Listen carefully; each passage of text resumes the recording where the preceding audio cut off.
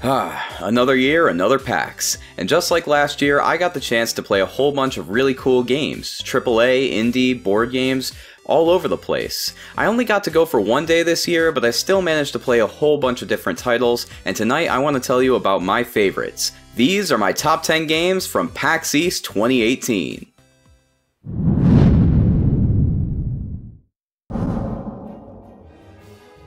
Witch It by Barrel Roll Games is a game of hide and seek, pretty much like Prop Hunt meets the Salem Witch Trials. You have two teams, one of witches that can transform into many of the objects in the environment, and the other of hunters that try to find and kill them. It's pretty much a basic clone of Prop Hunt with a few power-ups added in for variety's sake. It's not super deep and the maps can be a bit too big, leaning things in the witch's favor, but these issues can be ironed out by the time the game leaves early access. It's a simple but fun time for anyone.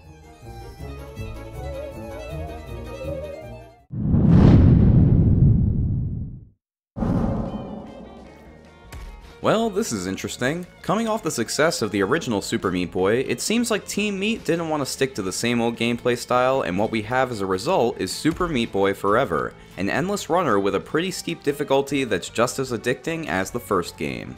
While I did enjoy my time with the demo, I did knock it down a few spots on the list because I'm not entirely sure I like the endless runner style since it makes the game feel a bit too simple, almost like a mobile game it was originally pitched to be, but I guess we'll find out if it can change my mind when the game releases sometime this year.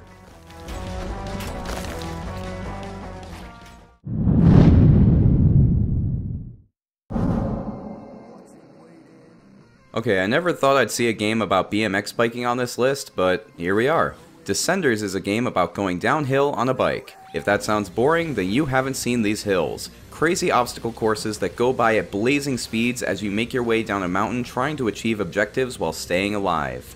It may have some lackluster graphics, but when this game's in motion, everything just clicks. It's in early access on Steam right now, and the price may be a little steep for some, but if you're into fast-paced gameplay, this might be a title to check out.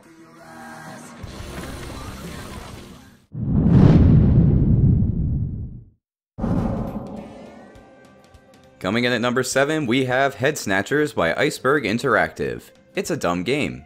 Honestly, it's really dumb, but it's also dumb fun. The premise changes based on the map, but in general, the goal is to knock off your opponent's head in order to achieve an objective while keeping your own safe. It's completely insane, but tons of fun, and had us all at the booth laughing and screaming while trying to keep our heads on straight. Head Snatchers will be released on PC and PS4 this spring, and I can't wait to give it a try.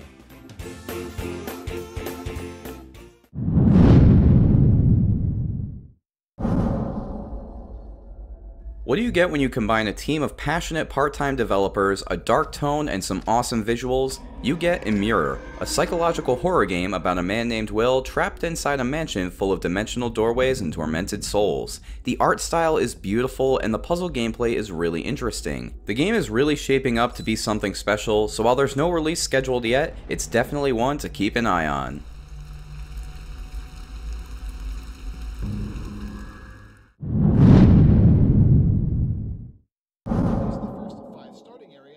When a Renaissance artist runs out of paint, what is he to do? Well, he sends his apprentices out to the market to get some, of course. This is the simple premise behind Pigment, a fun little board game for 2 to 3 players by Copper Frog Games. Each player fights over paint resources, trying to be the first to complete 6 paintings and win the game. The competitive aspect is really cool, and with a bit of practice, I could see the strategies becoming more clear. It's a fun time and a game that I'll be sure to pick up when it's released this May.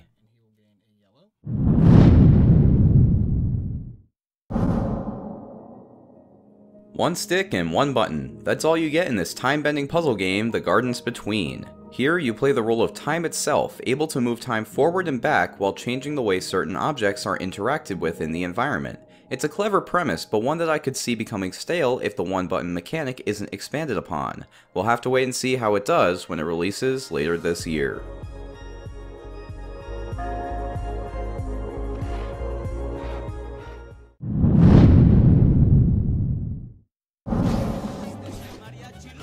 I'm normally not a huge fan of Metroidvania style games, but something about Guacamelee really struck all of the right nerves and I fell in love. And Guacamelee 2 seems to be poised to continue that excellence. An insane Metroidvania beat 'em up with up to 4 player co-op gameplay makes for a crazy fun platformer that I can't wait to play when it's released, eventually. Oh, and you can play as a chicken. Instant win right there.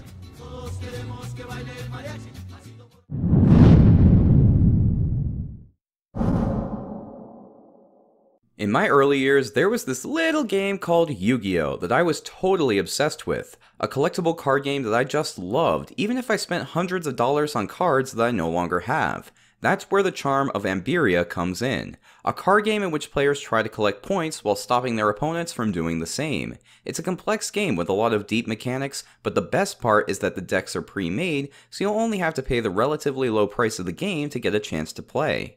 If you're looking for a more in-depth review, I'd suggest checking out reviews on Unfiltered Gamer or Dice Tower, but for now I'll just say that the only thing keeping this game from the top spot is its awful online store and lack of presence on Cool Stuff Inc. or Amazon. Well, that, and number one, is really awesome.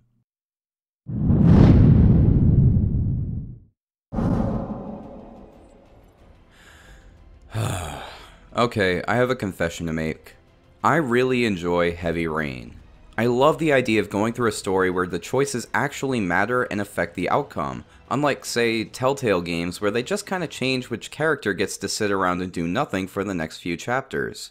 Which is why Detroit Become Human was my favorite game at PAX East 2018. Yeah, the demo I played was the same one from its reveal and last year's E3, but damn it if it isn't fun to make the choices for yourself and see how the game pans out. I know David Cage games have had a tendency to be hit or miss in the past, but I am completely on board to try this one out and see how the game unfolds when it's released this May. My name is Connor. This is our story.